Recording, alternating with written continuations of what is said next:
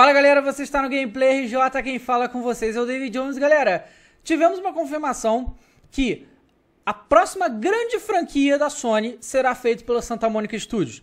Galera que não conhece, Santa Monica Studios é o criador de God of War. É um estúdio que pertence à Sony e é um dos grandes estúdios que pertence à Sony. É um estúdio de grande renome.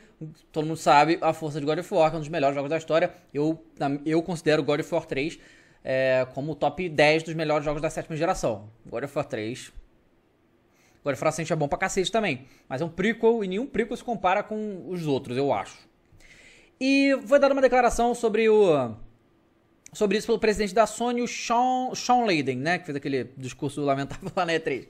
Ó, no grupo de desenvolvimento nós temos. Um, um, foi uma entrevista, ele soltou essa. No grupo de desenvolvimento nós temos Shannon Studstill, que comanda todas as nossas operações em Santa Mônica. É ela que vai trazer a nossa próxima grande franquia. Bom. O Santa Mônica Studios está tá sem. É, bom, na verdade eles tiveram um jogo no passado que foi o God of War Ascension.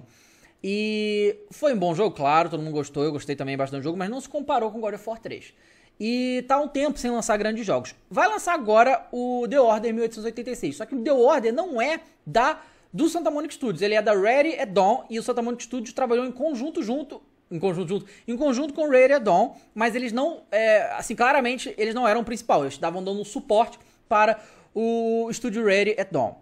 Já existiam alguns rumores sobre isso.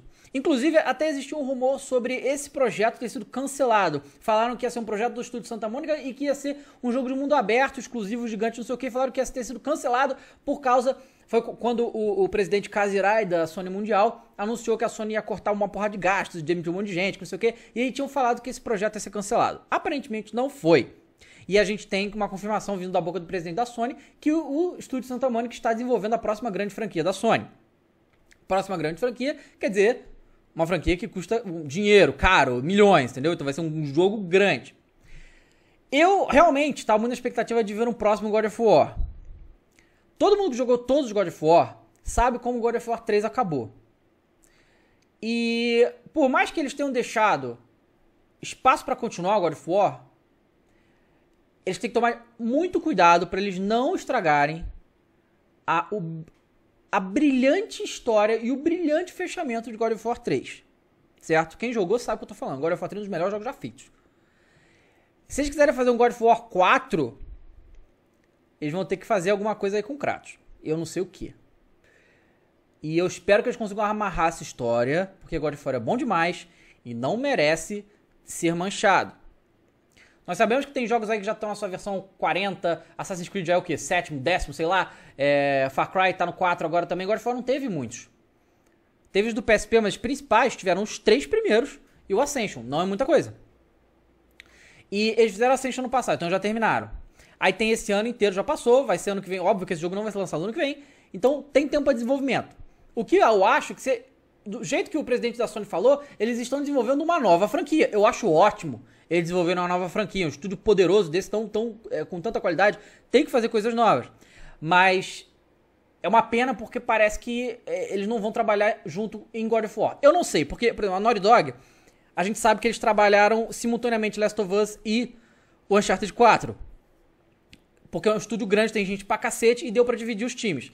Não sei como é que vai ser com Santa Mônica. Eu particularmente prefiro o estúdio trabalhando inteiramente em um jogo só.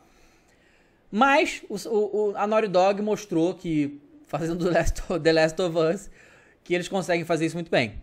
Santa Mônica é um estúdio que tem muito crédito com seus fãs, é, devido ao God of War. E eu acho que eles vão conseguir tranquilamente trazer pra gente um bom jogo. Aí vamos esperar para ver. Se ele já tá mandando esse papo aí, provavelmente veremos alguma coisa na E3 do ano que vem. Então, o que, que, vocês acham disso? Vocês gostariam de ver o próximo God of War? O que, que, vocês acham que Santa Mônica podia trazer como franquia nova? Grande nova franquia da Sony. A Sony tá precisando, sendo quase não teve exclusivo nenhum. Teve, sei lá, três. Não foi muita coisa. Então vamos esperar pra ver ano que vem. E já começar aí, como? Depois que passar o ano, já, já começa a hype pra E3. Tá certo? Galera, muito obrigado a todo mundo que assistiu. Se vocês gostaram, não esqueçam de se inscrever. São sete vídeos ou mais todo dia. Clica no gostei, adiciona o vídeo favorito se você gostou. Muito obrigado a todo mundo que assistiu, galera. Até a próxima com mais um jogo, com mais um vídeo. Valeu!